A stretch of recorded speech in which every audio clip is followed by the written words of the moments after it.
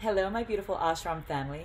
My name is Kayla Silber, and uh, this is going to be my sixth burn and my fourth year with ashram. So I'm so excited to meet all the amazing new people that I'm seeing on this feed and um, that I've met over the last couple weeks, and be re- reunited with a bunch of my old friends that I haven't seen in a really long time.